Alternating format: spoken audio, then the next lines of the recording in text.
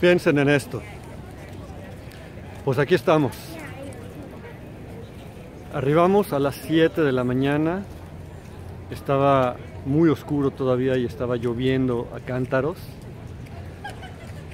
Y les voy a enseñar a los conejos. Porque es muy chistoso tenerlos. Mírenlos.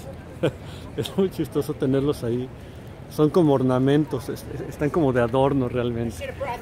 En fin, em, llegué a las 7, estaba lloviendo muy muy fuerte y me paré justo aquí para que vean ustedes la cantidad de gente que está formada.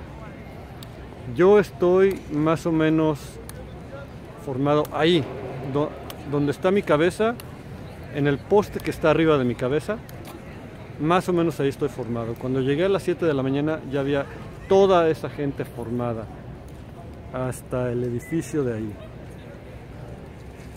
Y me sorprendió realmente. Va a ser interesante porque ya empezamos a escuchar muchas conversaciones sobre las razones por qué la gente ha venido hoy. Y hay mucha más gente. Ahí donde les estoy diciendo que estoy yo formando todavía hay más gente atrás. Ahorita vamos a dar un rolecillo para que lo vean. Terminé mi comentario, terminé mi pregunta. Anoche todavía a la medianoche vi que estaban transmitiendo en vivo y lo vi todo. La reunión que tuvo Justin Trudeau igual a esta, pero en la ciudad de Edmonton, en Alberta, la provincia de Alberta. Lo vi para darme cuenta más o menos qué tipo de preguntas estaba, haciendo la gente, cuánto tiempo les daban para hacerlas.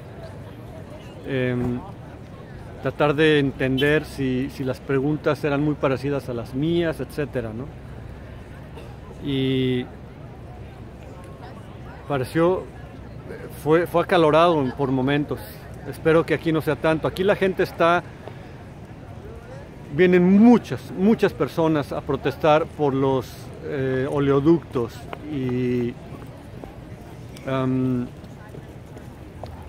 los buques tanque que transportan petróleo crudo y otros combustibles a través del, del estrecho de Georgia, que es el canal que está entre el continente y nuestra isla. Y bueno, va a ser interesantísimo. Voy a dar una vuelta, como dije, sobre donde está toda la gente y a ver qué les parece, ¿ok? Vamos allá.